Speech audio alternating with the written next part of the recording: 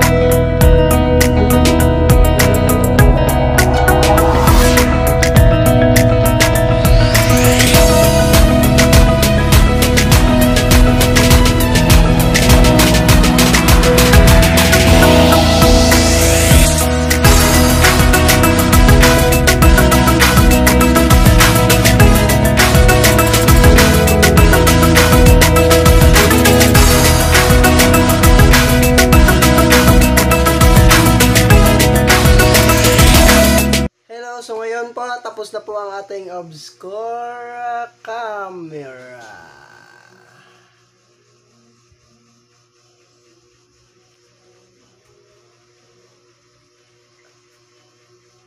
Recycle carton and mirror.